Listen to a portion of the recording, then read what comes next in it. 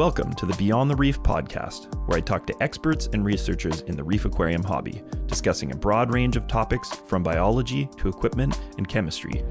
We take a deep dive into our guests' methods, techniques, and top reef keeping tips. My name is Adam Sutherland, and I am the owner operator of Frag Garage Corals, based out of British Columbia, Canada.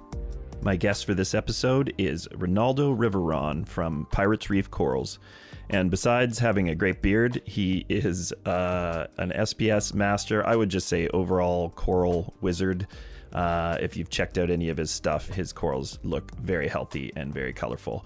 And I had a lot of fun talking to him today because this is the first time we've spoken, so the conversation was quite fresh and on the fly, and probably more of a two sided interview as he asked me quite a few questions as well. If you want to check out Rey's Corals, you can go to piratesreefcorals.com and there are also some video links to some content uh, featuring his systems, which I definitely suggest you check out. There's also a section on the site for his parameters and lighting if you want to get a little bit more info on how he runs his systems. If you want to support this podcast, the best thing you can do is subscribe and share it with other people in the reef and saltwater community. And without further ado, here is my discussion with Rey from Pirates Reef. All right. Rey, so uh, thanks for coming on the uh, the podcast here. Oh, no problem. So I wanted to ask you: Is there any product or change you've made to your system, um, let's say in like a shorter term amount of time, where you can 100% attribute uh, positive effect from? Well, I've always used a lot of things. Yeah. Like I like to feed a lot of things, but in small amounts. Yeah. You know, like a lot of different foods. So I use um currently I'm using the CVE from Australia. CVE from Coral Essentials. Is it a, is it a coral food or what is it exactly? It's like um it's one of the yellow liquids, you know, okay. like Red CAB. Yeah, yeah. Okay, I think I saw you make make a post about it, and you had a little bit of a disclaimer about um, overdosing. Yeah, yeah, yeah. yeah. I just posted it. I've been using that for a few months because the thing is, I used to use fuel. Yeah. Uh, years ago, Vitro fuel. Yeah and it worked very well. I used to use that with AcroPower, but the thing is that when I started to do actual trace elements, like dosing, you know, specific trace elements or additives, I couldn't use the fuel because the fuel has trace elements mixed in. Mm-hmm, mm-hmm. So, you know, it was kind of throwing it all off. It was overdosing this and not yeah. dosing enough of that. So yeah. I had to stop the fuel.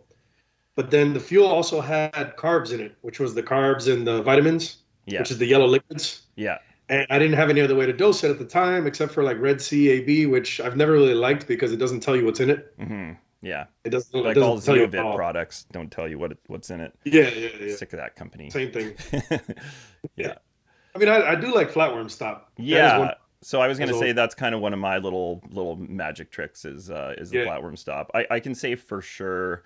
I had a bit of a crash a couple years ago, um, and I I threw all of my like best you know higher end designer SPS all in another system, and I was and I was able to save most of them, but a lot of them were super bleached, um, and uh, they they didn't come back very fast, and I was kind of getting frustrated with it. I mean, I feel like the system had gotten dialed in, but uh, I started dosing that flatworm stop, and like it was like within like a week, I noticed them start to darken up again. Um, yeah, they start to encrust, right? Yeah, I mean, but they started actually populating their zooxanthellae again too. Like these were corals that were like yeah. just hanging on for life. And I've never been able to figure out what's in it. I've heard that it's like witch hazel. Yeah, yeah. And, uh, iodine. I've been actually vinegar. thinking about uh, writing like an open letter to uh, Korallen-Zucht um, and just sort of saying like, you know, you guys need to start saying what's in some of your products like it's it's time to be transparent because i mean yeah. if if we're going to learn uh, and keep like growing as hobbyists and and even just whatever contribution we make to uh, even science scientific research i feel like we're kind of doing that all the time. Whether they care about what we're doing or not i don't know but i mean the, the it kind of it's a lost opportunity to be able to learn you know if we don't know what we're putting in. If they just say like a blend of trace elements it's like well i'm not going to put in trace elements on top of the trace elements i'm already adding if i don't know what's in them you know? See i had i had an issue with that um with their coral booster. Yeah I don't yeah. blame it completely on the Coral Booster, but I was using Coral Booster. I was using um, uh, potassium nitrate, and I forgot what else I was. Something else I was doing that had a little bit of potassium as well. Yeah.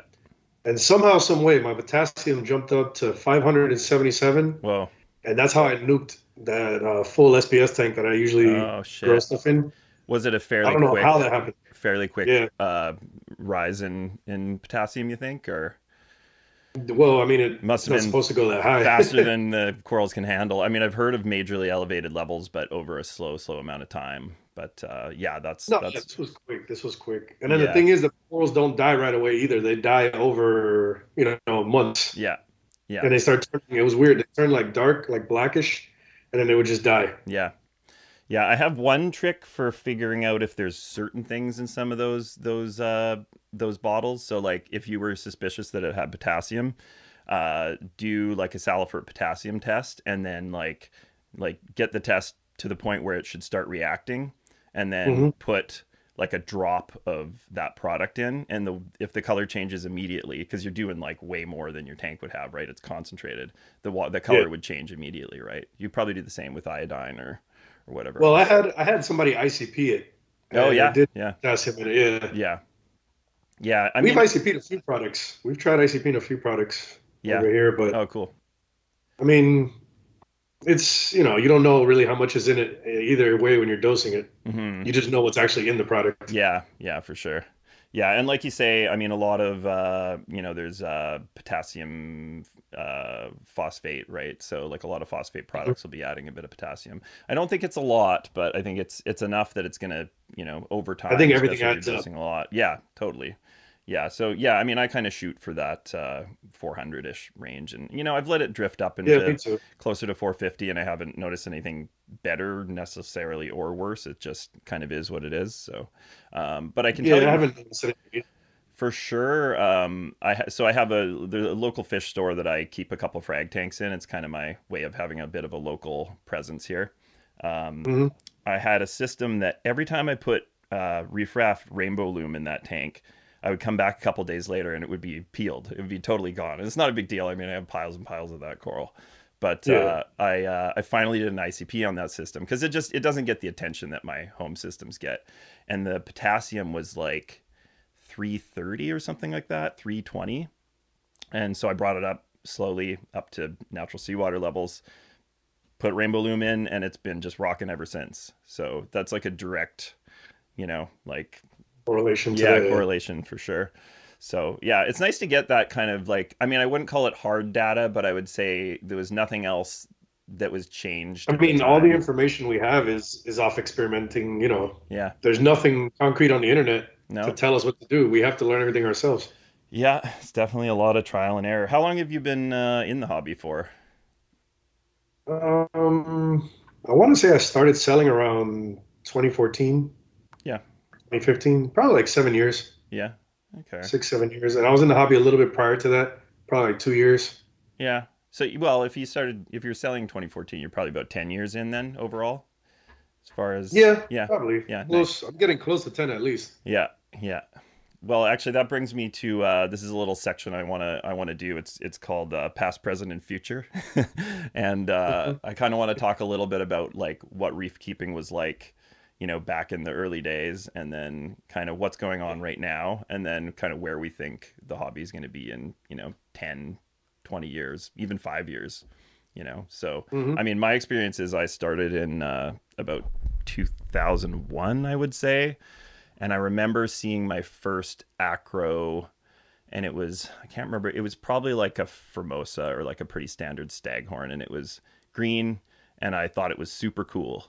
but, you know, at the time, like trying to find colorful acros was like, you might see like a purple valida, uh, you know, but it was just nothing like it is now. And it's, Yeah, like a tricolor valida or something. and then the other thing was like there would be a lot of corals they would import um, that would be like a, abrotanoides, I think is how you say it. That was a really cool acro. That stubby pink tip, or robusta is very similar Mhm. species. Abros. Yeah, they bring, bring those in, and they were like I remember just never being able to keep the color on them. They look awesome when they come in, but uh, I feel like the corals they're bringing in now are a little bit better selected for what does well in our systems, which is kind of nice. Um, but you know, the colors are better too. Yeah, for sure. I mean, they they they started to figure it out. Um, you know, I mean, one thing. Uh, I I went to Bali back in uh, in February this year, and uh, I went to a farm nice. there. Really good farm. And uh, I even met like the owner that started it, and uh, he told me they hadn't collected broodstock in like seven or eight years. So basically, every acro wow. that they're mariculturing is the same stuff over and over and over again because they have to actually apply for permits to collect. Like you'd think that they could easily just go grab new broodstock, but um, I don't think it's like it's very it's very strict over there. I've heard yeah. I've heard they'll sink your ships and everything. Yeah, yeah, no, it's pretty pretty competitive, and there's areas that are um, like you know their broodstock colonies will get stolen from other farmers, and like it's it's uh, coral pirate pirate zone over there. mm-hmm. yeah. yeah. But uh, yeah, I've been kind of staying away from importing lately. I feel like I'm kind of at a point now where, uh, you know, I could probably sustain myself um, I guess this would get to the future part of it because you know, I'm, I'm kind of getting a little bit sidetracked here. But, um, you know, if at some point the exporting stops or slows down or becomes more restrictive overseas, like I feel like people like you and me that know how to grow corals from frags to colonies, uh, we're in a pretty good position to kind of continue on uh, running a business, right? We're not just chop shops. Yeah, well, I've never I've never done well with maricultures. Yeah. I tried them here and there back back in the day. Um, I used to buy like from Unique Corals, or you know just random stores that might have a nice mariculture colony. Yeah. And they would do well for a little bit, and then they would one day just die for no reason. Yeah, like, there's there's a few color up and then die. Yeah, there's a few problems, and they do. They seem to color up really well in the first kind of couple months, and I found it especially with the tenuis. Um, I don't know if you've mm-hmm. noticed when some of them peel, but the base is green, like the skeleton is green. It yeah, it has the green, green, green boring algae. Yeah, I don't know if it's the boring algae or, or it also could have something to do with the iron on the racks. Um, but uh, oh, like you know the rocks they come in with. Yeah, I'd like to get to the bottom of it um, because I think it's the algae. It's it's pissing me off to be honest. I mean, yeah, I, I brought I picked some pretty nice stuff when I was at the farm um, in Bali, yeah. and uh, all pretty much all the tenuis peeled within the first. You didn't you didn't cut them up though. I mean, the first thing I do is I so when I land my shipments, I put them in a system that doesn't have other acros in it, so they quarantine in my LPS system. Uh, so I let yeah. them settle. I don't even dip them right away, uh, and then I rebase all of them, dip them, and then I may start moving the occasional piece over to the SPS system, uh, sort of one at a time. But uh, what's your protocol, by the way? What are you? What's your QT and? Um, I mean, usually, I don't. I don't bring them in. You know, like I said. Yeah yeah. I haven't brought anything in in a long time. All I do is I try to buy frags and grow them out. Yeah. So all my stuff is grown from frags. But um, usually what I do is my my original tank, which is uh, this display. it's not really a display, but it's you know it's all frag racks now. That one is where I start stuff at, and then once I see, because that tank is actually hardier than my other system. Yeah. So you know I let them settle in there once I see they look good and they got PE and stuff, and then I'll cut a frag off of that, dip it, and then transfer that into the other system, and then I'll try to continue growing it there. Okay, so you have. You know, like and I always inspect them. Yeah. Know, very very vigorously. If I see um any tenuis white bugs, they'll get an interceptor dip yeah. for for an hour. They always get a revived dip for five minutes. Yeah. You know, yeah. plugs are always you always throw away the plugs. I only keep yeah. the actual coral. Yeah, yeah. Yeah, definitely. I agree. Like revive is great for flatworms and certain things, but it doesn't really get the bugs mm-hmm. off. Um, no, I guess you should you should say the the uh, the pods off. Um, but yeah, interceptor. It kills some pods, but not all of them. Yeah, yeah, and I, I I've struggled with uh, the sort of gray type bugs over the last couple years. Like they've come back, and I've had to interceptor again. And basically, like I don't know. If, the tenuis? Uh, they I don't know where they're getting in originally, but I think that there's there's a strain of them that's going around the hobby that's just more resistant to dipping and to in- interceptor. And I had to do like uh, I think. But do you have them on other corals other than tenuis or no? No, they're on all like they they would go on all acros. I mean, I'm cl- completely clear now, but I did like a like a ten times dose to what uh, the red bug you know the standard red bug dose is it's it's a yeah. crazy crazy high dose but if i mean if you're treating stuff that's new on the way in and you can do a bath with them like then you, you doing concentrated too right so mm-hmm. Yeah. I mean, I use I use the Dr. G's dip, which is it's basically interceptor. He makes it pure. He just Oh. mixes the actual chemical with water. Okay. And I mean, it's the same thing. I've always used it because we had that issue with the white bugs with the tenuis. Yeah. I found out about that years ago, probably I don't know, six, five, six years ago when I went to Palooza, California. Yeah. And we bought some stuff. Me and my buddy um, came back and we had, you know, the tenuis start turning white. And I was like, man, why are the tenuises, you know, losing color? They were doing Yeah. fine. And you start chasing things that, you know, is the lighting too high or your nutrients low? Yeah. Yeah. Yeah. And nothing was fixing it. And then one day I just decided to pick it up and I see the dark side of the tenuis, you know, where it doesn't get light. And you can see the little white bugs walking around. Yeah. And that's when I found out about them. And to this day, people still don't believe me. Yeah. There's still people learning about them. Like this year at Palooza, there was people that were that were telling me, "Oh, you were right. I just you know learned about white bugs." And I'm Yeah. like, "I've been saying it for years. You guys don't see them." And they mostly just go on tenuis, hey? Well, the ones that we have here, yeah, Yeah. I haven't seen. Yeah. I may have seen the ones you're talking about years ago too, but since I haven't brought in anything, Yeah. it's hard to see a new pest. You know. Yeah, no, that's that's nice. It's nice to be just kind of locked down, and if you're just bringing in frags, it's like super easy to inspect, and you know. Yeah, I try to get frags from you know wherever I see it. Like this year, I brought a couple things from ARC. Yeah, you know, yeah, just like trusted sources. Yeah, and I mean, if something's encrusted, like, uh, do you do the thing where you do like a ring of glue around the base and kind of try to keep keep it, or do you just chop it up above it? I guess it kind of Uh, case usually by I break it off. Yeah, yeah, Yeah, usually I throw away the encrustment, or I'll Yeah. leave I'll leave the encrustment in my other system. yeah, and I'll put the new, the nice piece in the other tank if I have to, you know. But Yeah. I don't. It has to be something I really, really wanted to keep the encrustment. yeah, yeah. If it's like okay, that was like a couple months of encrusting on a five hundred dollar frag, I'll Yeah. I'll keep it. It has to be something really nice. If not, usually I Yeah. throw it away. so this Like, I'll bring them home doctor, and I'll throw away the bottom. yeah. So this Dr. G's dip you were talking about, so it, it probably has the milbemycin oxime in it, Mhm. which is the the ingredient for the red bug treatment. Yeah, Uh, he uses. I wonder and then, how. um, so is it a cocktail of a couple things? What's the? No, no, he just uses that, and I think it's vitamin C and RO water. That's it. Okay, interesting. But I don't know. I don't know the the strength of the mix. Though that's the problem. yeah, yeah. I guess that's that's a that's a thing because it'd be nice if you could actually use it on a whole system if you were treating Oh, instead you can. because the interceptor is like really expensive and hard to get from the vet. Like the vet, not all vets will. Well, this is this is more it to you. expensive than intercept. oh, is so- it? Okay, okay. Yeah, well, maybe it's time intercept to. is actually cheap for us. Yeah. Okay. Yeah. Is it hard to get up there? Um, I mean, you have to get it prescribed from a vet. Um, and I guess it's like six 23 milligram tablets costs about 120 bucks uh, Canadian. So probably Over 80 here, I mean, it's easy to get. Most of the vets know about it reefing, so you just tell them, "Hey, my tank," and they're like, "All right, here you go." Yeah. I know I was talking to a vet about it recently and well, this is a couple of years ago, but they were kind of like with the whole ivermectin thing, they're like a de- it's like a dewormer. They were like are you kind of a weirdo? Like, what are you doing with this stuff? are you you know.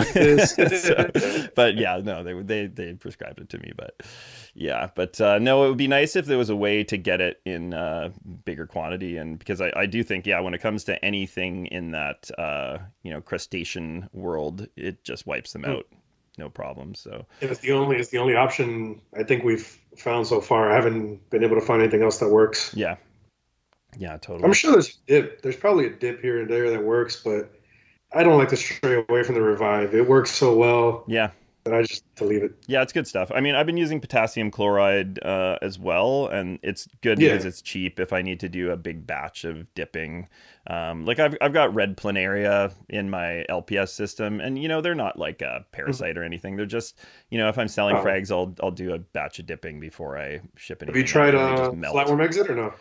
Uh, I mean, I I I have too many in the system to consider doing that. I think if I was gonna treat, I would probably uh, I would probably take the whole tank apart and try to get as many of them out, and then dip all the racks on their own. All my racks are the uh, like fit in those Coleman stacker coolers, so I can like take each one out and and dip it on its own. So, so I'd probably do that, um, but it's a bit of a big job.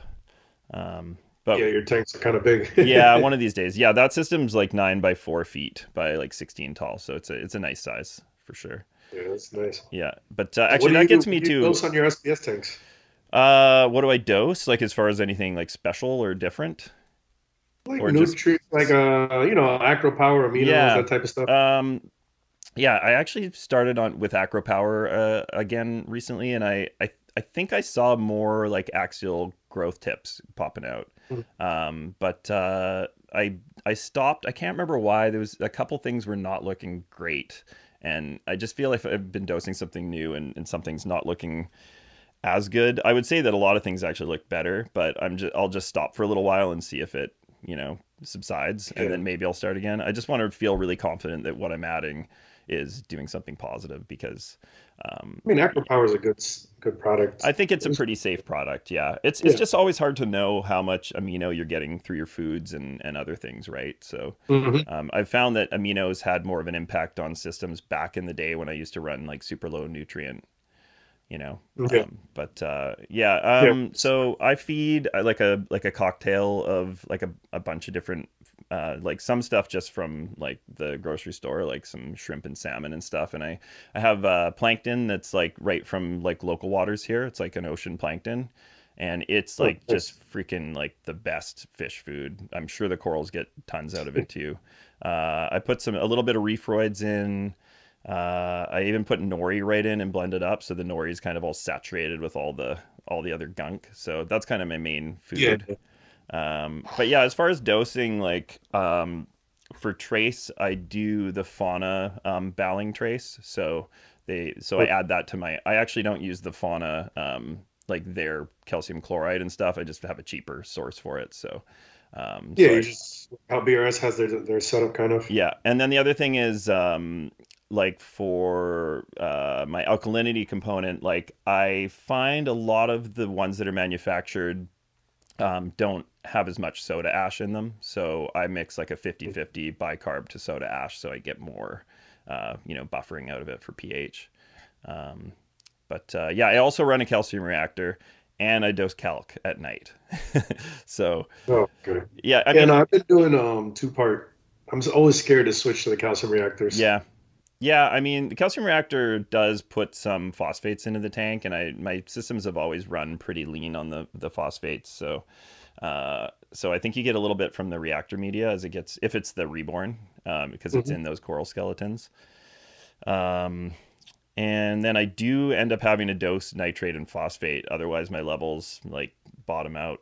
It's just, I mean, just the the biomass in my system like per gallon is just like you know every inch of the rack yeah. is covered in coral so you know, i have the same issue yeah yeah so it's uh you know you you could see it as being complicated that i have three different methods of of uh, supplying my major elements but i think if anything it's like the redundancy actually gives me some security because you know if uh, my calcium reactor line gets blocked or something like that i'm still dosing mm-hmm. you know so I'm not going to see this major drop in alkalinity. It's it's you know probably only going to drop 0.5 in a day versus what's that? You don't use a trident? I do use a trident, yeah. So the trident okay. will it'll let me know if anything's you know shifting. Yeah, a little off. Somewhat, yeah, yeah. And I mean, I'm still like I I still think alk swings can kill corals. I just think it really has to be like really fast and really dramatic. Like I mm-hmm. think a mm-hmm. 0.5 swing is like most people will see it on their tank every day anyways. Like I don't think that's a huge I mean, you know. I think you can go up to 1. Yeah. Yeah, for sure. You can have a 1 swing and it'll be okay. Yeah. Yeah, totally.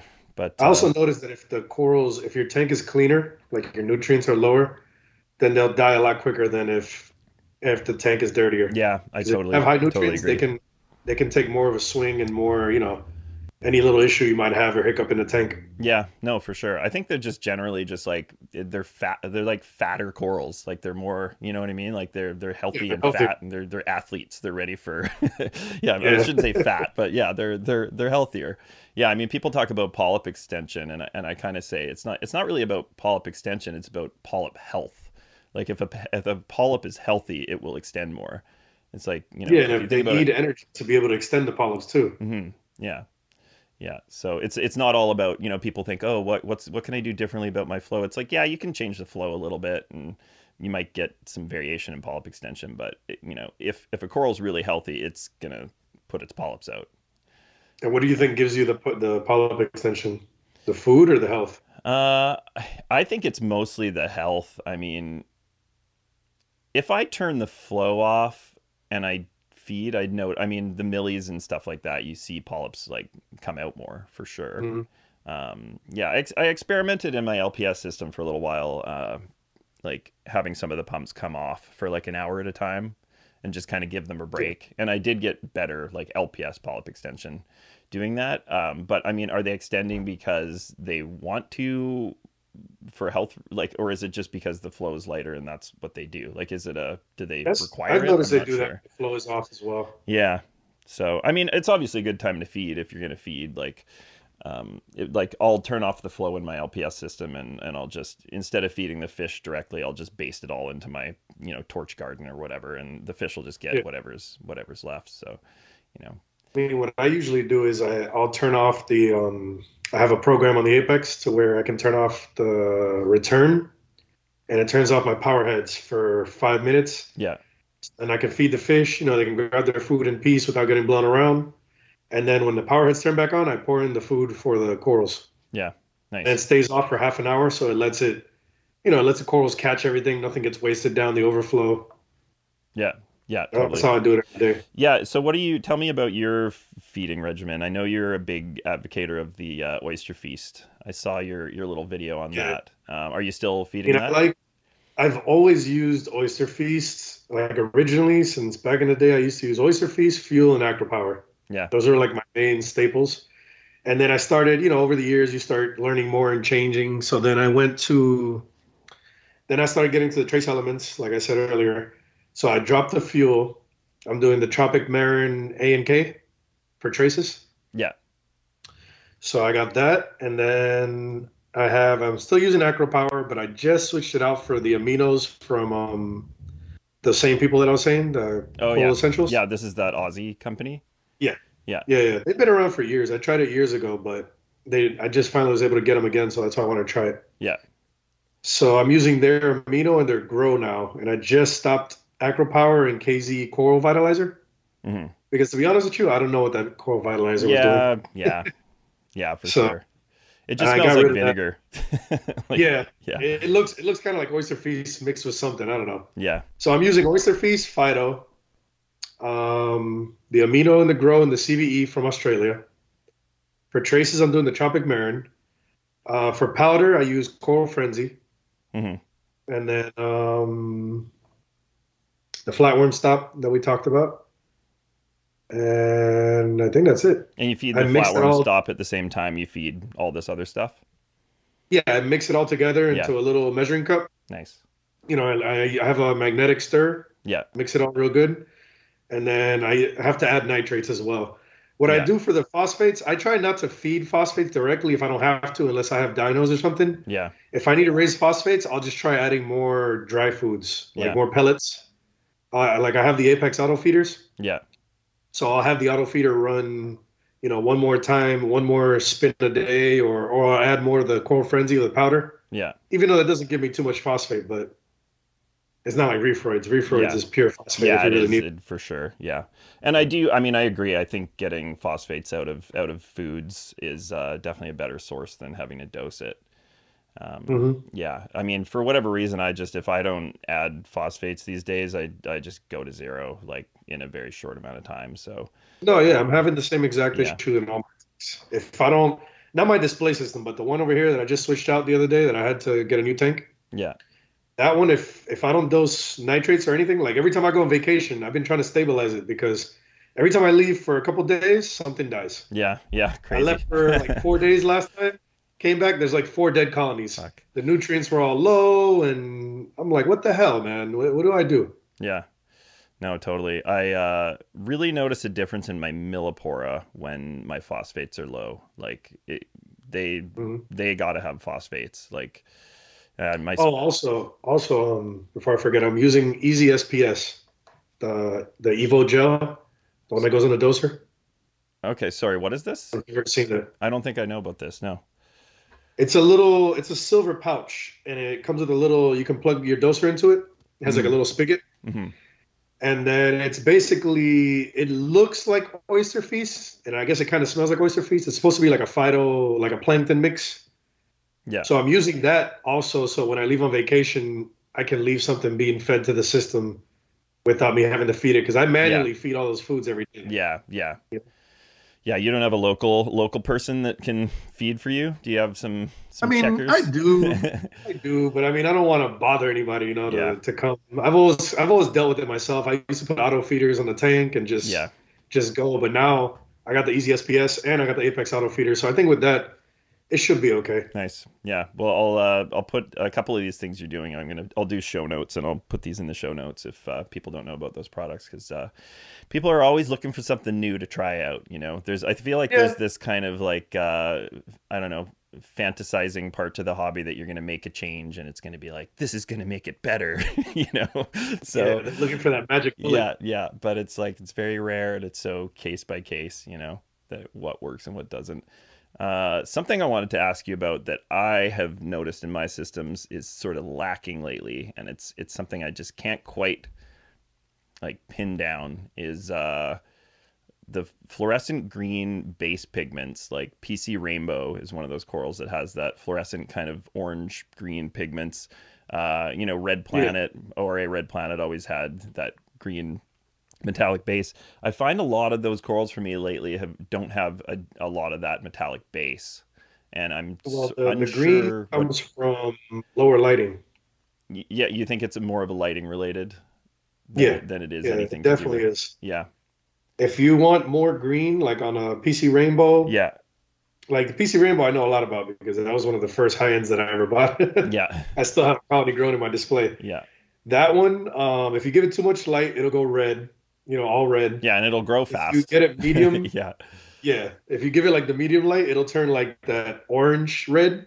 Yeah. You'll get the orange in the center. Yeah. And then if you don't give it enough light, you'll get the green toward the bottom, you know? Mm-hmm.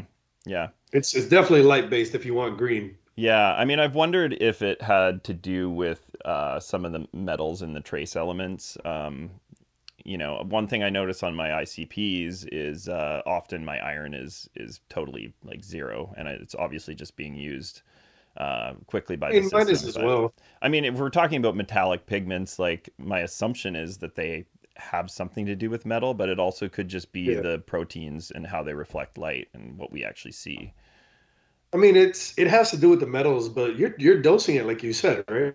You're dosing trace elements. Yeah, yeah, yeah. So, but I mean, I think yeah, just the volume of coral in my system, uh, you know, versus what's coming in, it's like if those trace elements are needed, they're probably used like super, super fast. So, um, yeah, I have I have the same issue. Mine doesn't show anything when you look at the you know the metals. Yeah, most of them say zero.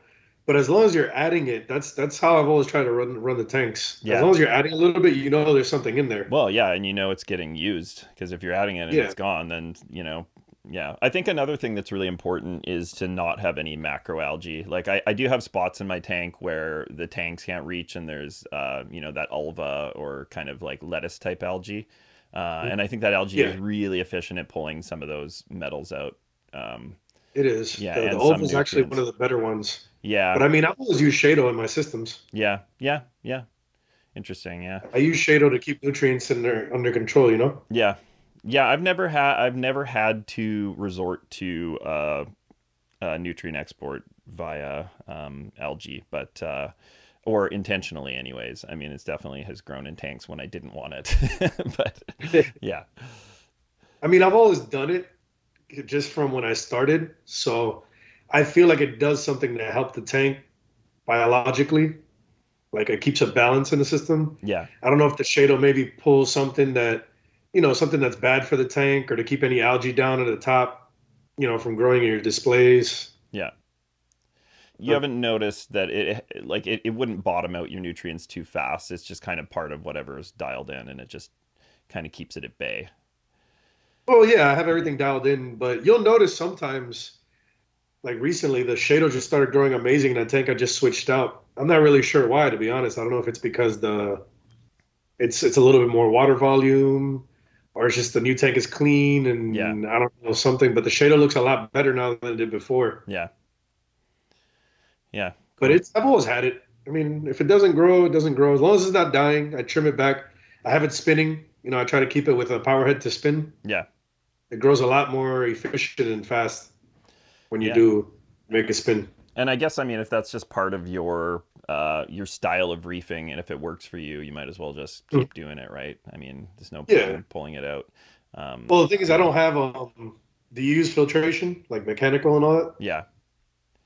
Yeah, I don't Uh, use any no, yeah, no, I don't use any filter rollers or anything. Um, I use uh, I use filter socks, but I use the like the mesh ones, not the super fine ones. So uh, they, Yeah. you know, they just get the basic debris, and honestly, you can just take them in the bathtub or with a good sprayer, you can spray them out. You don't even have to put them in the washing machine. So um, Yeah, yeah, so that's what I've been that. I don't doing. use anything at all. Yeah, yeah.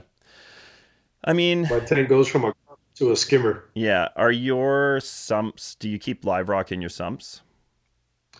Um, I mean, in one system, I'll have like a piece of rock, maybe. Okay, yeah. So one of the systems. Yeah. See, my Yeah, uh, my sumps tend to have a lot of live rock in them, and one thing that I try to do a couple times a year is pull out all the rock and just like blast all the detritus and do a water change and and basically add it back. But uh, You can't just vacuum it out with the vacuum. no, I mean it just gets in all the little crevices and whatnot. So um, and Oh, the tank seems to do better after I do it. So honestly, it's something I probably need to do in the next week. I definitely put it off, but yeah. Uh, no, I've been um. Actually, on my systems, I have the Maxspect on the frag systems at least, because the display system has a lot of rock. But Yeah. the frag systems, I've been using those Maxspect balls, like those ceramic. I don't know if you've seen them. Yeah. I have those, and I have the bricks in Yeah. those systems. Okay. But I do have live rock in in them in the top a little bit. Like I put I'll put like a little corner. I'll build like a little rockscape, you know, for the fish, just to kind of have a space for themselves, yeah.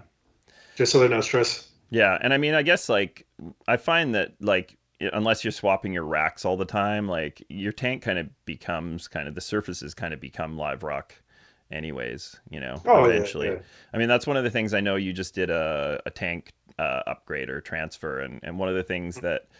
Uh, that we can't account for is the bacteria on the surfaces is just not there. So I do find. Did you get a little bit of an algae cycle on the on the glass after the move? or- Um, not really. I, I was. It actually has gone better than I expected. Yeah. I was really, really worried about it. I mean, I planned that that swap out for like a week. Yeah. I had everything. What was the uh, like But- the volume the volume difference? Um, the original, the tank I took out was like a 90 gallon. It was a standard six by two by one. hmm Uh, it's about 90 gallons, and then the new one I think is uh, 120. Okay. Yeah. But I mean, I left everything else the same. The sump is the same. yeah. I use the exact same water. You know, everything else is. I didn't. I tried to keep as much stuff as I could from the old system. Yeah. Yeah. So the only stuff that was new was the tank itself and some of the water. Probably about 30 gallons might Yeah. have been new. okay. Yeah. But I mean, Yeah. everything else it went okay. Yeah. Yeah. Because I mean, really, like all the biomass of the system is the corals, anyways, right? Mhm. Corals and the fish and whatever rock you kept. Yeah. And if the sump's the same, then yeah, that's easy. Yeah, I did a pretty major move when I moved to this place uh, in later 2020, and it was like I had new tanks built, and I was moving up about double the volume. Um, so something I did is I just like did a big water change out of the tanks at the old place into the new system, and I kind of did I did a couple of those big water changes, so I had probably 50-50 water from the old system in the new system. Uh, and then we just started bringing stuff over, and it was just like fine. It was just like you know, like nothing really. Yeah, no, you you know, yeah, yeah. I mean, was- I think the perfect. thing that happens more often when people do uh, a move is it's more likely that like somebody's gonna, you know, you got a long day ahead of you. You hook up all your apex and your probes and controllers, and like something's not quite seated in the water properly, or you know, just some stupid little Mhm. thing happens, right? Like that's gonna be more likely to cause a crash. And sometimes you're you you know you're not prepared, and uh, you know, if the water gets too cold, yeah, too Yeah. hot, that yeah, mess everything up big time. it's tough. I mean, I did. Luckily, I was able to move all my corals into another system. Yeah, that's good. Yeah, if you had the space That was one it. of the things that saved me here. I mean, I did my tank move in uh, the middle of December, um, and I'm like, well, I'm in the west coast of Canada, but uh, you know, like it's, it's it, you know, cold, close to freezing. like it was probably, It's always Yeah. cold. yeah. I mean, not where we are. It's uh, we're more like Seattle, like Washington kind of thing here, similar similar weather, but. Uh, but yeah, I mean it's uh yeah, you just have to be fast. I mean, we just uh I had big totes and put egg crate in the bottom so the corals could kind of kind of stay kind of not crash around too much and just drove Mhm. easy and and uh, yeah, we just put them straight in, and yeah, everything went really well. So yeah. Um, Where do you keep your levels at on your systems? So I guess yeah, I was going to ask you this too, and I didn't want to sort of talk about stuff that's too say like we all probably let's uh, let's talk about the things that we do differently, assuming that we probably keep our alkalinity somewhere between eight and eight point five. Uh, yeah, you know, uh, I would say I've paid a little more attention to magnesium recently. Uh, just making sure that it's always above the 1400, I think really makes a difference. Um, like there's been years where I've kind of let it drift down and been like, ah, magnesium doesn't matter that much. And then I'll bring it back up and it'll be like, oh, yeah, no, things are happier for sure, especially LPS. I keep it, I usually let it ride wherever it wants to be. It's like 1350. Yeah. And that's too, super fine too. Yeah. Um, but I mean, I, I have tried raising it, like you said, to 1400 it's just it always comes back down. I don't know why. I, yeah. I think it's the just when you do the water changes. Yeah. And then it just goes back to wherever that that salt comes in. Yeah. Which salt do you use? Uh, so I've been using the blue bucket. Actually, not entirely. I use Red Sea, but I mix the blue bucket with the black bucket, oh, which okay. I don't know if they would advise against it, but uh, the blue I've heard, bucket, I've heard of people doing that actually. Yeah, I mean, I think it's basically the same formula. Just the black bucket has really high alkalinity. A few other things are a little bit elevated, um, mm. but I don't want to do a water change with uh, alkalinity of 11 on a system that's at, sitting around 8.3, 8.5. Uh, so yeah. I figured out it's about a four to one ratio if you take the blue bucket. So 4 mm-hmm. to one of the black bucket will get the alkalinity around 8.5 it's like kind of just the money money zone. Uh, so that's what I've been doing. And I, honestly, like I get a good price on that salt, and I think it's good. Like that's that's what I use as well. So yeah, um, I use Blue Bucket. Yeah, like salt is one of those things that people really like. Again, like talk, going back to saying like how people want to make a change and think something looks better. It's like I, I made this joke on uh, to Keith when I did the the reef bum. That's just about how you know hobbyists hobbyists uh, you know think that their tank's better because they switched to this salt but it's like really just at the end of the day it's like well you also you just did a water change when's the last time you did a water change you know they haven't done a water change yeah. in six months it's it's the common denominator is that you did a water change so you do you do a four to one with the pro being one yeah yeah yeah, because the what yeah, does that give you now? Like nine? Yeah, it, no, it's around eight point five, eight to eight point five. Oh, 8.5, okay. Yeah, so yeah, I can't see any reason to not do it. I mean, like i mean you always take a risk with salt. If you're not mixing the entire bucket at a time there's always a chance that some of the elements have like you know leveled slightly differently in the bucket. Yeah but, i always say that but i've never really noticed an issue. Yeah. And i do thing, i don't do large changes either. Yeah. Yeah i do uh i do about 15 to 20 percent at a time uh probably like about once a month kind of thing uh sometimes a little Ooh, i do 10 percent a week. Yeah. Okay, so fairly so regular. Yeah. Yeah. Yeah. Yeah. Um I mean, there have been years where I've ridden it out and not done a lot of water changes and had systems do really well. Um, which surprises me looking back because I wasn't paying any attention to trace elements back then either. you know, so what does that tell yeah. you? that's how that's how it used to be back when I used to use fuel and AcroPower. Like we didn't pay attention to any of that. Yeah. And I feel like tanks were doing great. Yeah. Like I had a red planet colony that was like it was like probably 14 inches, but it had like three or four spirals. So it was like just kept going. like it was so massive. and I grew that thing in like only like maybe two years or something. It was just absolutely ridiculous. So I don't know. That was under metal halides too. So I don't know that if that was one of the parts of it, but yeah, metal halides helped a lot. Yeah, yeah, for sure. But also your your mixture of the three the three dosing uh, methods makes your corals grow faster as well. Yeah, for sure. Yeah, and like I'm not using halides anymore, but uh, when I did, I mean, obviously corals grew fast. Now it's just like a mishmash of uh, I've got a f- like LED bars, some radions, uh, and I got T5s that I just run for like I'm just running them two hours a day, just kind of for fill. Uh, because I mean, I, I had like... the T5s, and I feel like the tank was doing better with the T5s than yeah. the switch made now. They're just so well but diffused. I was trying to and it's such a it's kind of like i feel like uh if you think of led it's like almost like a digital light form like it's very like you know, here are the frequencies of the light. Yeah, and, you get a mixture. You a Yeah.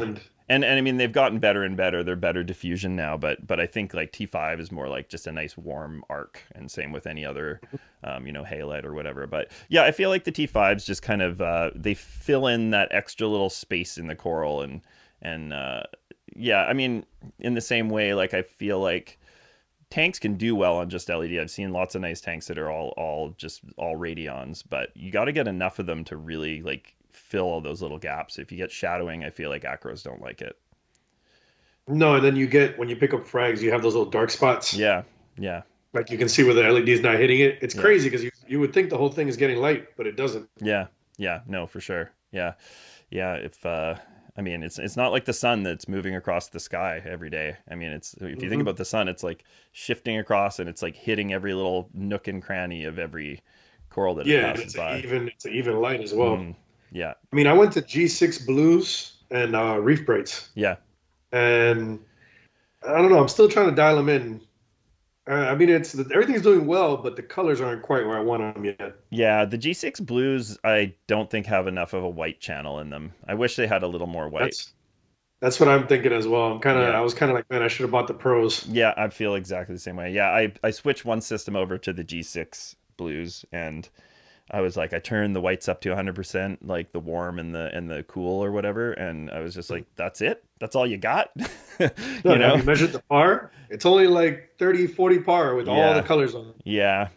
Yeah, I mean, my corals didn't change much. It was kind of the same. I was just on the G5 blues before that, so Oh, Yeah. okay. But uh, actually, so another thing I wanted to ask you about, uh, we were kind of briefly touched on trace elements, but uh, are you doing regular ICPs? Are you kind of like going down that road much?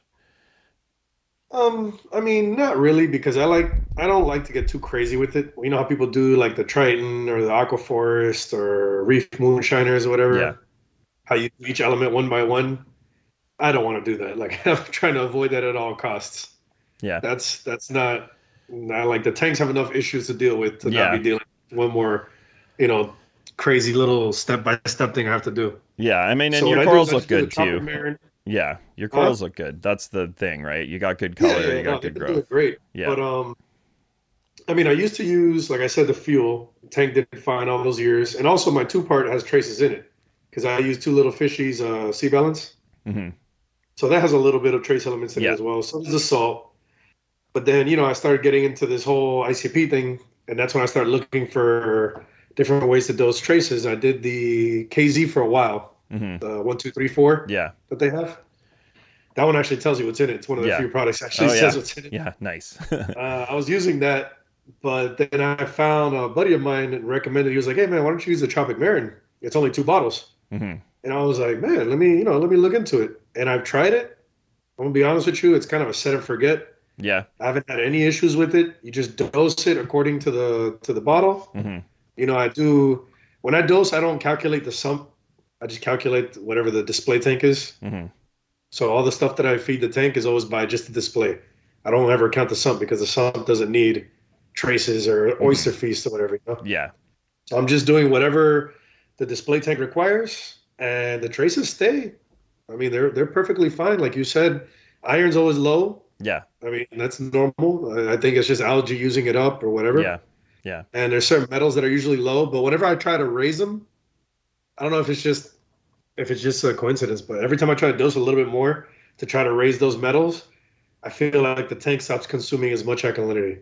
Hmm. Interesting. I don't know if it's a coincidence or it's just something that it doesn't Yeah. like the extra dose, it doesn't need it. Yeah, I mean, with the the kind of volume of coral in like our systems, like like any kind of little thing that affects like alkalinity consumption is like magnified. So you know, I'm sure you're Mhm. probably you're probably right that it could be something. I mean, I always underdose what is recommended when it comes to even when they say. Uh, like I do uh, the adjustments. I don't do moonshiners, but I do like a similar kind of system. Um, but I, Mhm. I'll do like half the rate that they say it's safe to raise it by because why not? Like I can wait. Like I'm not Yeah, yeah, yeah, you can do to another ICP. you know get my levels up. So you know if I'm dosing something like copper, you know I'm not. I don't want to mess Oh, around yeah, with. Co- definitely. I was surprised how much copper it told me I could put in. I was just like, no, I'm not going to do that. I'm going to go See, like but the thing is that every every one of those ICPs has a different um, limitation or range where you can get your levels to. Like if you look at each one, each one tells you a slightly different measurement. As in what they consider to be natural seawater. or whatever they consider Yeah. to be safe. I don't know if it's natural seawater, Yeah. but because Triton, I've used ICP analysis, I've used Triton, I've used ATI, and currently I'm using um, Reef. What is the name of it? It's these, it's a local people down here. Um, I don't know if you know ACI. Yeah, yeah, I Uh, know Chris. Yeah, totally. Yeah. Yeah, Chris. Chris. Um, he he has a buddy over there that has ICP, and it's called uh, what is it called again? Reef Labs. Yeah. that's the one I've been using because I actually had a I was using I was using Triton. I had a hiccup with ICP analysis first that messed me up with with um, iodine Yeah. because they kept giving me wrong iodine. They kept telling me low iodine, low iodine, and I kept adding iodine. Oh shit. And then one day I see the acros peeling, and I'm Oh, like, no. oh shit, what is this? So I went and I sent out a Triton, and my iodine was like at I don't remember, it was like 211 or something, wow. you know, on Triton. yeah. So then I started using Triton, and then one day Triton gave me a hiccup on the iodine as well. It wasn't a big, you know, it might have just been a water sample issue or whatever, just a small problem. Yeah. But then I tried ICP analysis, and it gave me a different reading from the Triton. I mean, not ICP, sorry, the Reef Labs. Yeah. And I've been with them ever since, and I love it because since it's in Florida, it's quick turnaround. Yeah. Yeah. I bet it's pretty Send quick. it on um, yeah, I send it like on a Monday, and I'll have results usually Thursday to Friday. Yeah, nice. Yeah, similar for uh I use the Fauna Marin and we have like the the North American distributors here in Canada. So uh if Oh, I I send it to him by Thursday, uh so say I say I ship it overnight on Wednesday, I will usually get results on Monday the next week. Like Oh, nice. you know, as soon as I wake So up because their their day starts earlier over in Europe. So uh so I'll get my results like yeah, basically like 4 days later, which is awesome. And you do it. You do it consistently. I'm doing it about every four to six weeks, I would say. Um, I'm yeah, doing probably about the same. yeah, yeah, like and I- every now and then when I make a change, you know, just to make sure everything's good. yeah, totally, yeah. And I'm, uh, I've, uh, thinking about trying. Uh, I might move away from doing my Balling Balling trace elements and try this isolate MT uh, from Captiv8 Aquaculture instead. Oh, okay. Yeah, I know Uh, them. I actually tried their uh, their powder. Yeah, The, the One of their foods? It's called Invigorate. hmm hmm Yeah, Invigorate. I tried it out. I, I didn't really notice too much. I mean, I did notice something here and there, but I didn't want to go too crazy into it. yeah. But I still have it there. Yeah, he he's making That some really him- really good stuff. His dip is like, I don't know what's in it, I, but it just it kills it like everything. Like it just absolutely kills everything. like Does it get the pods too, or not? I, I yeah, I mean from I mean I don't know if I had the the pods at that time, but I just saw like so Yeah. many critters in the dip. It was just nuts, and it seemed really gentle too. So. Um, Might have to try yeah, he's got some good stuff going on. Um, I'm Yeah, he uh, does. I've got some of his products that I'm trying out right now, so uh, I'm gonna see. I'm. It's just the thing is, you get stuff you want to try out, and you really have to try to do one thing at a time. You know, Mhm. as per usual. No, and then and then you don't know if what worries me always is I don't know if it's going to affect the tank. You know, these companies are always like, "Oh yeah, just do a test tank." I'm like, I don't have uh, yeah, random space to just have tanks laying around to be testing lights and random products. You know. yeah, that would be nice for sure. Yeah, yeah. but he does have some good stuff. The Yeah. Captiv8. Yeah, yeah, no, for sure. I mean, I feel like uh, because he developed a lot of the the products for Brightwell, it was kind of like, okay, Mhm. now he's like, I'm gonna do this the way I want to do it. You know, with Have you tried the Invigorate or no? Uh, he sent me a food, and I don't remember which one it was. It was a while ago. Um, but uh, he's sending me some other stuff soon, which I'm gonna gonna try out. It's probably you probably get that in there because that's like one of their main. I think that's like the main coral food or one of them. Yeah, yeah, for sure. I mean, have you really analyzed your corals when you feed and what actually sticks to the polyp of, of SPS? Like, do you do you find that your foods are like, are you seeing it directly being consumed? Mm, I mean, I don't look at it that much anymore. I Yeah. used to like spot feed back in the day, and I would, you know, kind of pay attention to it. But now I just kind of broadcast, like I said, once the power heads turn on. Yeah, But I sometimes, depending on certain foods, like if I try something new, like when I tried the Invigorate, I could see um, some LPS seem to, to like it more. hmm Like Yeah. they seem to, to you know open up more, fluff up more, like a brain or some Ghanis and stuff. Yeah. Yeah, I But mean, I, I wouldn't doubt that the the food he's using is like super super good quality, like Yeah. you know the best source. I mean, Chris is just seems to be obsessed with his, his quality of stuff. So, yeah, Yeah, yeah, for sure. No, but the the acros, the only thing I notice is um I'll notice like feeders. You know, you get like the Yeah. little feeder tentacles. yeah, That's that's all I'll notice here and there. But Yeah. it's, I mean, I usually have really good PE on everything for the most part. If I don't have PE, that's usually when I know that something's wrong. Mhm. yeah, like I, like right now, I have um a Psychoberry and a Red Devil Nasuta and my Firecracker. They had lost PE a while ago, like a few months ago, hmm and I don't know why. I'm not sure what happened. They got light. It might have been they might have got hurt when I had um my doser head got stuck, and, and it was only dosing one of the elements, one of the two trace, Oh, not yeah. trace. uh, For how part- many? How how long do you figure?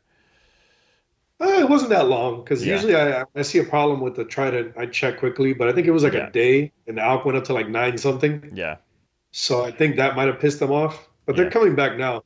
Have you ever had that happen where they close up polyps and then you don't Yeah. see polyps for like months? I actually uh, my what my sort of smaller home wrecker colony. Um, I have like a bigger one too, and that one was fine. But uh, I had a bit of an alk swing. trying to remember why. Uh, oh, I put on a new CO2 scrubber, and I have a rule in my Apex where it only doses my calc at night if the pH is below, I think, 8.4. And because it was like new CO2 scrubber media and the alk Yeah, was already high. high that day, it just like didn't end up dosing calc that night like at all because the gotta, pH just um, stayed high. You've got to set up another rule Yeah. that turns on your skimmer at night automatically. Yeah, yeah. There's got to be some other. Anyways, I just put the total up, but uh, I did end up having a swing. I didn't figure it out for a couple days, and then I ended up having a swing of about. I mean, my alkalinity went down to about 7.5, which, like we were talking about earlier, I don't think a one point swing is super dangerous. But uh, the home wrecker No, for it's- about three or four days was polyps in, and I was like worried about it. Um, and Yeah. then uh, the alkalinity, I just slowly brought it back up to the 8.3 to 8.5 range, and polyps like fully out again. So it's just a very direct, you know, like sign of And have it you, didn't like that have lower you noticed, like alkalinity. on? Let me see. Let me see on your. Let's see if I can find a picture of it. Have you noticed any of your tenuises that are pink, like the home wrecker? Have you noticed what brings out the pink? Um, I think, I think with Homewrecker, it shouldn't get too much light. I think similar to what we were talking about before is, uh, I think some Think of the tenuis don't like that crazy high light. Um, I mean, I've been. That's one of the things that I've been struggling with yeah, for years, and I've never been able to figure out what is the cause of the pinks on tenuis. yeah, Like I've, I've. That's why I've experimented with iodine, mm-hmm. potassium, all types of things. I've tried everything. yeah, and I just cannot figure out what it is. I don't know if it's nutrient related or if it's lighting related. yeah. like I I have moments where my tenuis get really pink, and then they'll go back and they'll lose their pinks again. yeah, so it's like, Like, the my same. homewrecker is basically green. Yeah, so same lighting, uh, same essentially major conditions are the same, but you just notice that some of those pinks are just kind of less vibrant. Yeah, you don't get Yeah. like the. You know how sometimes you'll get like a. I don't know if you have this one over there, but like um cherry coral's pink highlighter. Yeah, You no, know we don't. Yeah, no, You I don't know that one. Well, that one turns a nice bright pink. Like it's probably one of the nicest pink tenuises you can get. hmm and sometimes it'll just go green blue with like little hints of pink corallites and then other times like right now it's doing really good for me and it's mostly pink Yeah, and the frags look incredible like one of the frags i have is just the nicest frag i have in the yeah, frag right yeah, now yeah. Sometimes it's funny when sometimes you make a frag and it looks better than the colony. oh yeah it happens to me all the time Yeah, yeah, yeah. No, I'm not sure. I mean, I uh, I do notice the same thing where there's a there's a, a, a phasing of, of times where certain colors just pop more. Um, yeah I mean, Okay. I have to think it has something to do with uh, certain trace elements, but uh, it could also be like a nutrient ratio thing too. I mean, our nutrient ratio is always kind of like shifting a little bit. The phosphate Yeah. nitrogen Yeah, ratio. that's never stable. I'm not gonna lie about that. Yeah. Mine is never stable. I it think always goes every week. You have to adjust it. yeah, I have to adjust every single week. Uh, nitrate, you know, up and down a little bit. yeah, just little adjustments. Yeah. Mhm. I think it's like it's easy to kind of want to blame light as the cause of, of, of issues. You know, you want to be like, oh, maybe I should change, you know, change my light schedule. But then just remember, like, no, this coral grew to this size under this lighting schedule, Yeah. and it was fine. it's like obviously not the fucking lighting. Like the lighting's fine. Do you use uh, how much par do you use on your setup? Uh, I'm not crazy high on the par. Like I would say at the surface, it might hit about 450 to 500. Um, Okay. yeah, That's but like, but the corals that are getting the most that are like they're going to be three or four inches below the surface, probably sitting in 350 to 400. That would be like the absolute peak. Um, Okay. and then Yeah, I run. Um, currently I'm running. I had it a little higher before, but with the ReefBrites and the new G6s, I think the the par is too strong. The the blue and UV par, Yeah. I think it's stronger than it was before. So I couldn't go up to 350. I used to have 350 with just blue. Now I'm at 300 with blue, and then the peak of the day is like 450, yeah, Yeah. which is only like four hours in the. you yeah, know? you're so you probably have a similar uh, peak to what I do. Yeah. Um, Yeah. eh, yeah. I mean, what is your opinion on the higher nutrients uh, versus higher light? Like, because I've heard like mixed opinions on this, in that if you have lower nutrients, corals can take more light. But that to me sounds No. counterintuitive because I guess the idea behind it is that if there's lower nutrients, you're supplying more energy to the zooxanthellae via more light.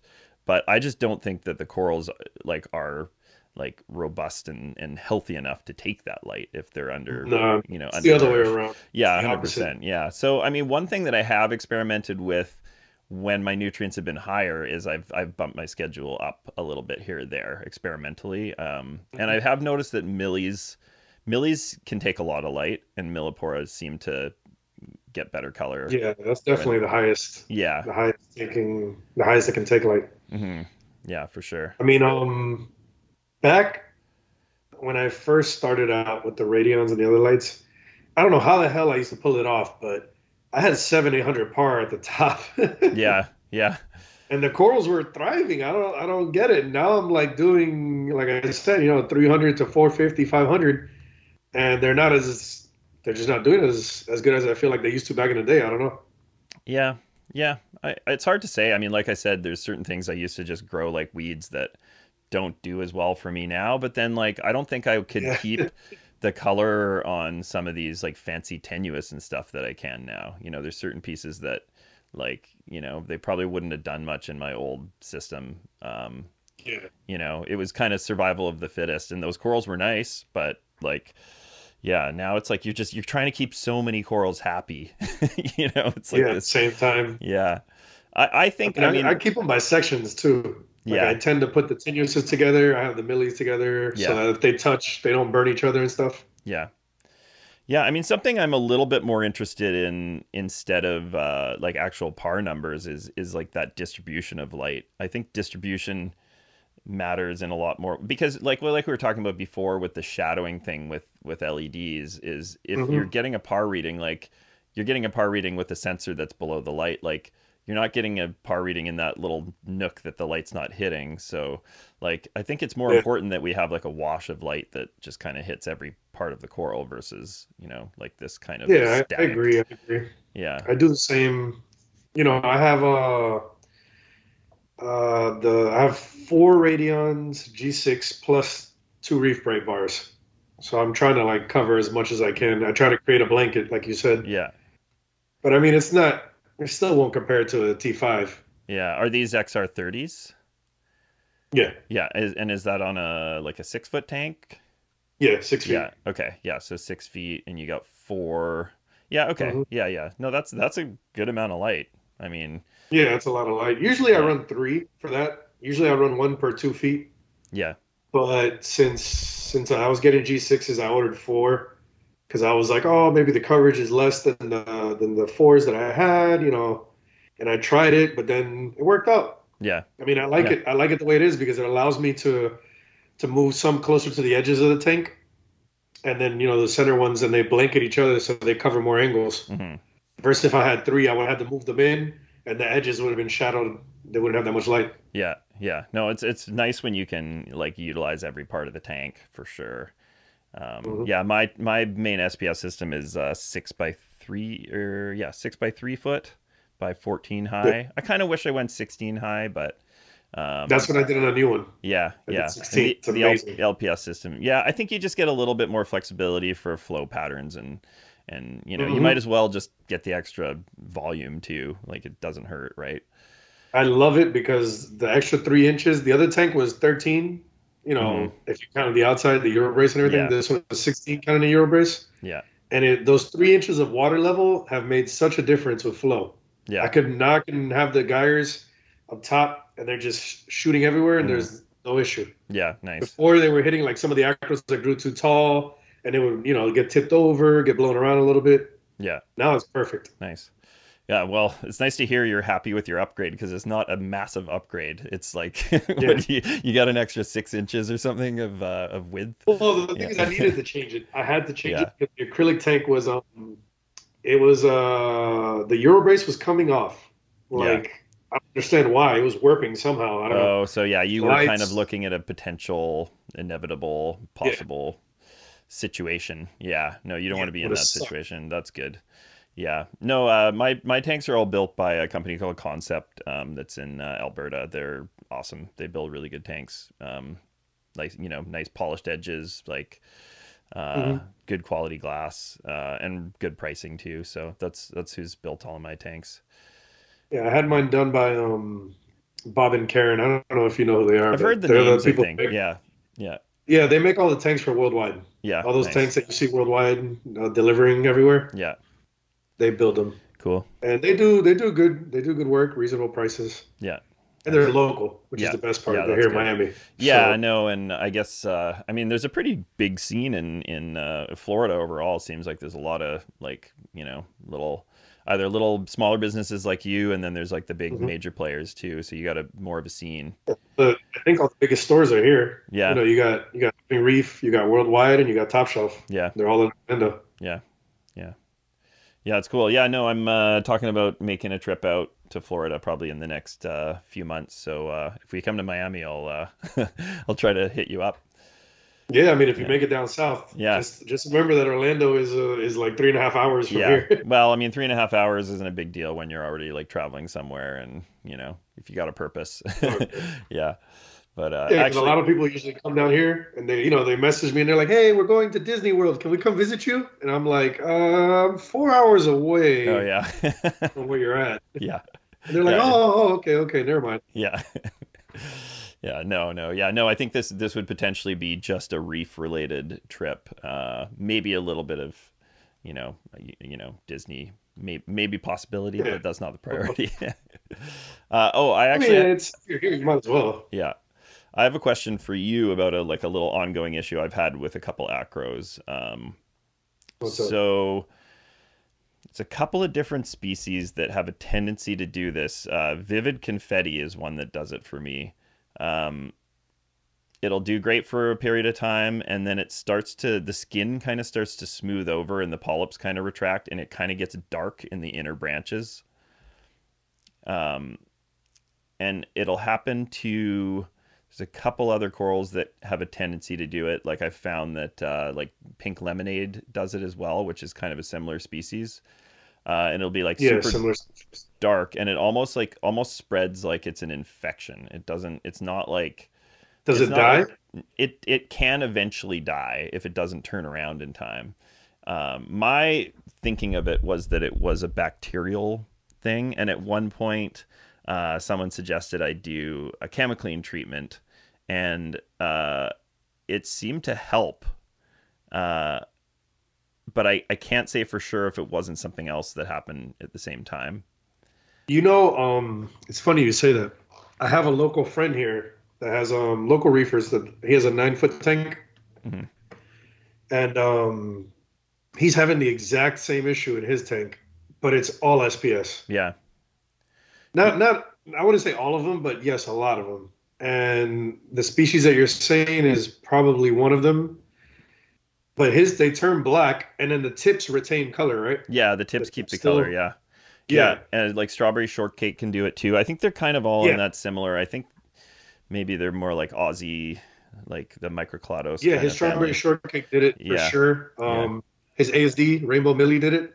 Yeah, Hmm. Um, man, I've been trying to figure out what it is in his tank, and it has to be. I was saying the same thing. It has to be a bacteria. yeah, yeah. and so we did a chemi clean, but I don't know how strong he did it. I told him to do it because you can do chemi clean up to three days mhm. is the maximum. yeah. Um, it's in a video with uh, Mark Mark Levinson. Or I don't remember Why, why is there a maximum on it? He, uh, do you know? I don't know. I, yeah, because it kills bacteria, so I don't know if you would. Maybe it'll mess up your bio yeah, your tank. yeah. I don't you know? know? I've always just left left it in, and then you know I'll eventually do a water change or put some carbon on. But I don't. I'm not like got to do it after two days or three days. Like it doesn't. I don't I- know if it. yeah, I leave it. I yeah. leave it for three days Yeah. total, and then I'll do a water change. But I mean, you have you tried Cipro? Uh, so I have Cipro. I'm a little bit like hesitant to do a full system with it. Um, you know, that being said, like I mean, this whole all this bacteria discussion that's been happening lately, I feel like You can feel do like- it. I it, feel like no maybe we're taking ourselves a little too seriously, like with our little reef tanks. You know, that we think that you know messing around with bacteria is going to have some you know effect on like you know the e- ecology of of the the earth. You know, the earth. It's Have like you, it's like think about the, one of the those. Uh, what's that? No, I haven't done a microbiome have you sent one of those bacteria kits? No, I haven't yet. Uh, I've been wanting to, I- and I, I kind of want to do a two test where I do uh, a test and then do a follow up test after I've done some kind of treatment, just so I can kind of get some, you know, Man, I think I think it's a waste of money. I did it, yeah, and honestly, what came back, I didn't understand a word that was Yeah. yeah. Like I've talked to Eli. I think I really like where he's going with it. Um, yeah, I actually, uh, I when I did my Tank of the Month article um, in 2015 for Reef Central, I talked about how I was like, I think maybe in the future we'll start testing bacteria for reef tanks. Like I talked about it in my article, so I Yeah. mentioned that to him. I was like, I talked about it. I knew you were going to do it. I think But, uh, I think it's still too early for that. Like we Yeah. don't know enough yet. yeah, But I, I do yeah. think that's a bacteria which you have, yeah, and I agree. Yeah, you could do the Cipro, man. Don't don't Well- be scared of it. I've done Cipro in my tank a bunch of times with zero issues, yeah, and I've done way over the limit because they Mhm. say to do I think three days tops or something. yeah, I did like a full week and a half till the dosage ran out yeah. Okay. because I had an issue. I don't know if you've had this issue over there. Have you ever ran into where your bounce mushrooms just start shriveling up and dying? I've had it happen with Ricordea before, uh, in another system, but probably a similar kind of Me, it was it was bounce mushrooms. Yeah, yeah, but I mean, I'm sure it's just like a bacteria thing that can start happening, right? Yeah, Yeah. yeah. But for me, I lost all my bounce mushrooms in two systems. Oh geez, fuck, that's expensive. I don't even know how like how it happened. It's crazy. yeah, huh? I did the Chemi Clean, I did the Cipro, I did everything. You know, I tried, Yeah. but once they start going, they're they're going. Yeah, I did notice though, um, with this not the Cipro, the Chemi Clean, and my display system, I have a big rainbow splice, yeah, and it had this weird little like bacteria.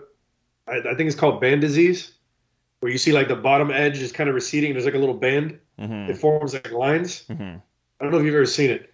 yeah. I they seen have like white band in uh, uh, chalices before, but uh, not in acros.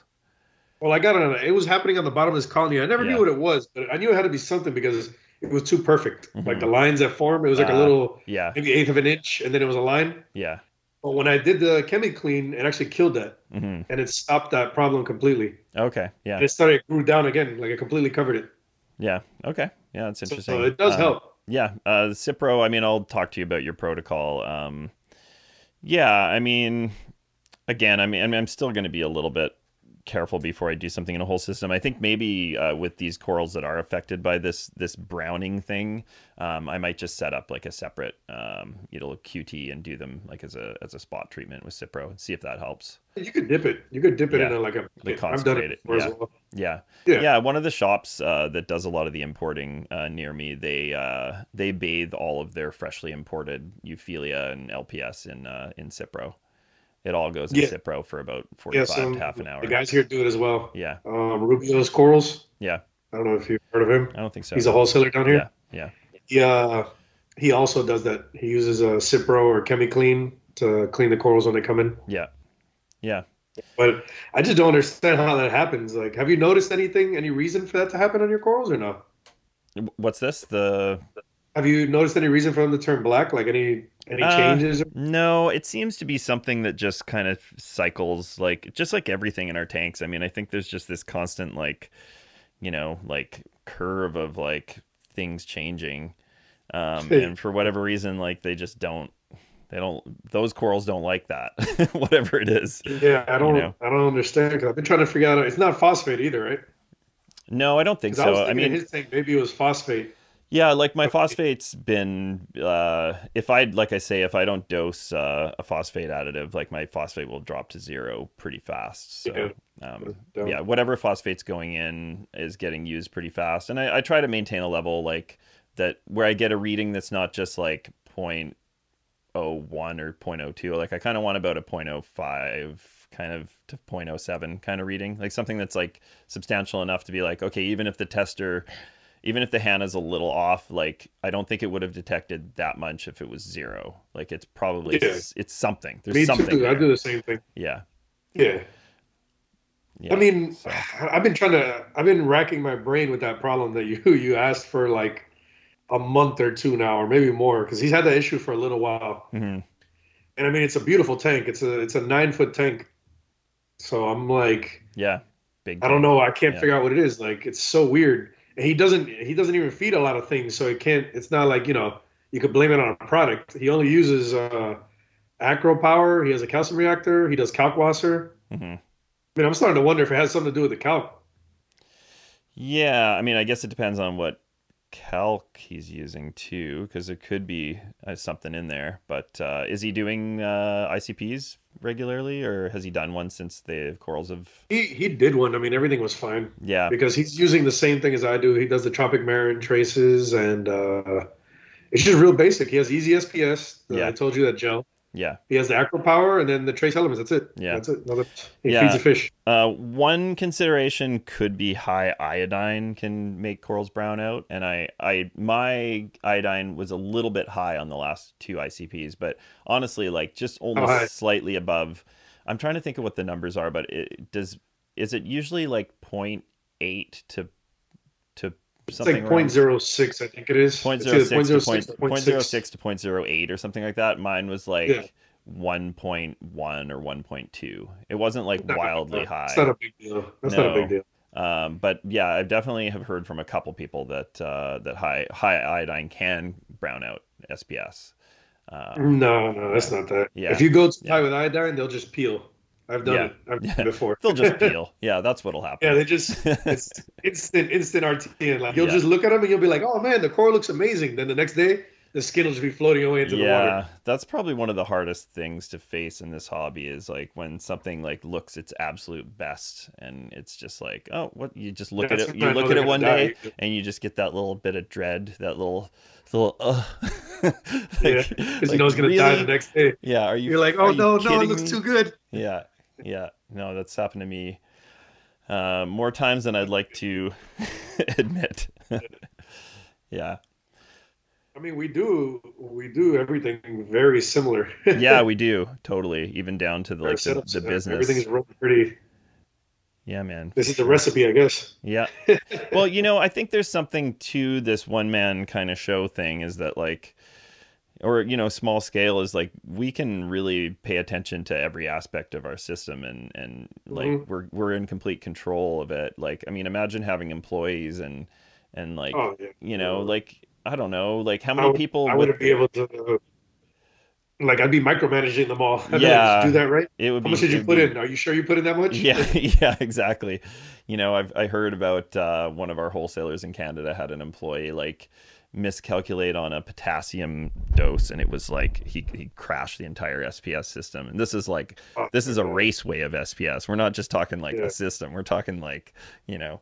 So yeah, that's uh that's like kind of what makes I think uh the this more specialized boutique kind of coral guys like us uh yeah. kind of have our our place and you know success. Yeah, there's other places you can buy corals that are, you know, might be cheaper or might be more like chop shop type SPS, but like you know if you want Yeah. aquaculture, you know, grown I mean, do you want something, you know, do you want something healthy that's been grown out multiple times in a system, or you want to, you know, roll the dice and try to get something from the ocean and see if it makes it or not? Yeah, yeah, and also just there's you can get something that you know is gonna look the way it's supposed to. You know, it looks when you Yeah, get you it. know what it's going to look like Yeah, in the end. yeah.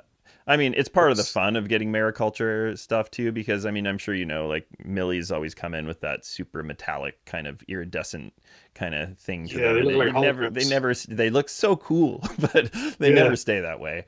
They look Uh, like holograms when yeah. they come in. They have like all these crazy colors, and the funny part is that Yeah. they're actually dying when they look like that. Yeah, when you see all the you know the green the little hint of green and neon Mhm. pink and the neon orange and you're like oh it looks amazing and it's actually because it's kind of hurt yeah, yeah. Some of the zooxanthellae kind of ejected or whatever. Yeah. yeah yeah yeah no for sure i mean uh be, being in those uh packing facilities in bali like they're uh they have employees that just like take the corals out and scrub the algae off the bases constantly so like you know what you get as a product is it has been scrubbed and cleaned and sometimes the the tissue that's encrusted is kind of damaged when it comes in too. So that's one of the reasons Yeah, i think that we strip it all lose we lose some of them when they come in because they're damaged around the base. But uh, i mean i used yeah. to chop them up. I'm not gonna lie to you. When i used to get them even now like i've tried a couple of those um uh, what are they called? The speciosus yeah I, I tried them uh, i had one like four years ago and it grew out and it died and i got kind of annoyed and i was like ah it was when i had my potassium issue yeah and I kind of let it go. And then I tried it again, and my buddy had got him, and we just chopped it up. And I, I think that's the best way to do the mariculture is like you have to just chop them up when you get them, just break them down to little frags, put them in different spots, and leave the base if you want. Usually I Mhm. throw the base away, but yeah and then Yeah. just try to see what survives because they're so finicky. Yeah, I agree because in my experience too, the the types that come in with the green skeleton issue, um, the if Yeah. you frag high yeah. enough away from it, or if you say grow it out for a while and you have new growth that you pull off, like usually that new Mhm. growth that I've cut from the like outer tips is fine, and then the colony will be peeling, the larger colony Yeah. will be peeling. So The colony will have the green boring. mhm. I still have that on some of my colonies and corals and stuff because it spreads. yeah, But yeah, I think you it does. said, over time, what I try to do is I just try to cut, you know, like if a colony has it, I'll just try to cut a healthy part out Yeah. and start it over Yeah. somewhere else. Yeah, that's the thing. The smart thing to do is to have uh, redundancy. You know, if you can like have a piece of everything you've got in two systems, then you'll always have it. Mhm. You know. Yeah. that's what I try to do as well. Yeah. Even if it's just a frag, Yeah. just keep a frag somewhere else. Yeah. Totally. I've been doing that with my zoas, especially because they are just one of the worst things for out of the blue melting. Mm-hmm. So Well, I got though- rid of zoas. Yeah, I honestly, gave up on zoas a long time I ago. I hate dealing with them, but uh, yeah. Well, you probably don't have you don't have as many vendors over there, but over here, man, for zoas, yeah. there is tons of people. Like, there's not even it's not even worth dealing with it. Yeah. know? Yeah. No, Like, that makes there's sense. there's people sure. that have their whole house is just zoas. Yeah. yeah. No, less people So are doing zoas not in even Canada worth here. dealing with it anymore. Yeah. For sure. Uh, okay, this is kind of I got a little fun section I want to do with you here. Like we can do as a kind of a last thing. So this is uh, rapid fire best best questions. Uh, so you like you can answer like non conventionally if you want. Like you can say something like I'm just gonna leave it broad. So uh, so right. let's okay. So so best fish. Oh, best fish. You can pick one fish. Uh, I like the my favorite fish is the oh what is his name? The whitetail tang. the what's that? White-tailed tang. Yeah, the whitetail. Good good algae eater. No, he's just my favorite in terms of looks. Okay, nice. Okay, He's like one uh, uh, best SPS. Mm, man, that's a tough one. Go with your gut. Uh, I mean, I like everything I keep, but uh, I'd say probably one of the nicest is the Tangerine Dream. I know that one. That, yeah, that piece uh, is orange, and I like I like orange because it it's a hard color to come by on the you know in, the, in corals. yeah, I hear you. Uh, okay, best S or LPS. That's LPS, the Holy Grail, Holy the Grail. Holy Grail torch. Holy Grail torch. Okay, favorite Yeah. softy. Softy, I would say a toadstool. I'm not gonna lie. Yeah. Okay, the neon like green, that. Yeah. The neon green toadstool. Yeah. No, I like that choice. I love them. okay. Uh, favorite lighting source if you were just using one lighting source. I'll do LEDs. Yeah. Okay. Yeah. Yep. Yeah. Uh, favorite product line if you just use say one product line for your whole system. If I had to use one product line only, damn, that's a tough one. Mhm. I'd probably do um I don't even know. Probably two little fishies because they have everything. You know, Yeah. they have a little bit of everything. Yeah. Yeah. That's a good call. I could probably get Uh, away with using Uh, I mean, we already talked about salt, but favorite salt, if you've ever noticed The Red anything to Sea. be. Yeah. Okay. Nice. Yeah. Uh, best aquarium controller. I mean, the best of what we have is Apex. Yeah. I think I'd probably agree on that. Uh, best wave pump. So Gyre, MP40. What's been the best for you I'm over the years? lie, I like gyres, but they require some cleaning. hmm And I got the new ones now. Have you seen the new ones that you can? Uh, yeah. the Change- directional change the ones. direction. Yeah. That one doesn't seem to get as dirty as the old one for some reason. Oh, interesting. Okay. So I've had it running on that new system for a while. I haven't touched them, I haven't cleaned them, and they're running great. But still, I would go with a Reef Octos and a Hydros. Yeah. Okay. Nice. Yeah. those you the don't hy- have to the touch. Hydros is sweet with those for sure. Uh, Yeah. Okay. Uh, let's see. Most hated pest. Oh, What's probably the those worst? those white bugs. Yeah. Okay. The white bugs. Uh, okay, here's the final question. So, if if you were in a financial position to do so, would you polo reef? Would you do a polo reef situation? Uh, Fourteen thousand I don't gallons. know, because I mean, that's a lot of work. I mean, but you got money to pay people to do it. Good people Well, too. We're talking that- like yeah, probably. talking like somebody I, I could hire you. wouldn't go that big. I think that's huge. Yeah. you know, I think that's huge. It's, it's amazing. It's beautiful. But Yeah. that thing is crazy. Yeah, it is crazy. It's like Okay. having SeaWorld in your home. Yeah. All right, man. Cool. Well, thanks a lot for your time. Yeah, I'll definitely All be in touch. Okay, All right, cheers, you man. too, bro. Okay, Take later. it easy. Thank you, man. Thanks for joining us on this episode of Beyond the Reef, featuring Rey from Pirates Reef Corals. Again, if you want to check out his website, go to piratesreefcorals.com. And if you have any suggestions for future guests, uh, want to just ask us a question, make a suggestion, make a criticism, whatever you want to say, uh, feel free to reach out at beyondthereefpod at gmail.com. Remember to like, share, and subscribe, and I hope to hear from you soon.